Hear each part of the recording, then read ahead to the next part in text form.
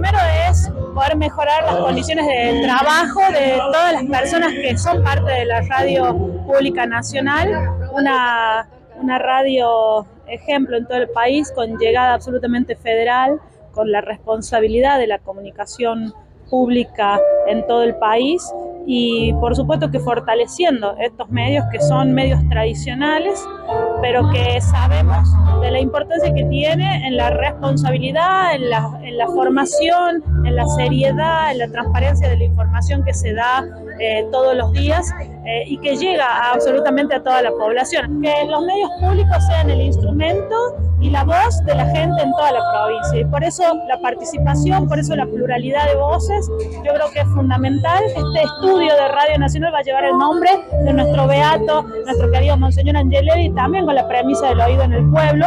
Con mucha alegría, porque cuando llegamos a la gestión y vinimos a visitar eh, la provincia y la radio, estaba en una situación muy delicada desde el edilicio, la verdad, en un edificio casi en ruinas Así que el objetivo fue llegar al día de hoy, ¿no? Encontrar un lugar donde podía funcionar la radio, el agradecimiento del Correo Argentino eh, por darnos estas instalaciones.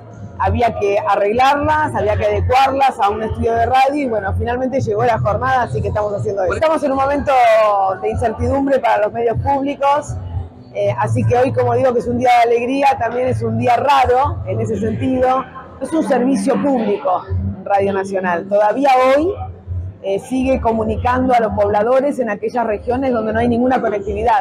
Yo que recorro el país, hay lugares donde el celular no sirve para nada, entonces los pobladores se dejan mensajes a través de Radio Nacional. Somos vínculo y somos servicio público.